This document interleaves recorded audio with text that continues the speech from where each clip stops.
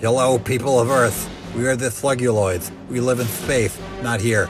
We have expanded our lifespan immensely by blending our DNA with slugs using our advanced technology.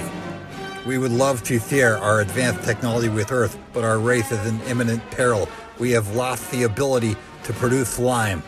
We understand that your young girls are very interested in making slime. It has become popular for girls to make slime. We are not able to make slime as we don't have arms.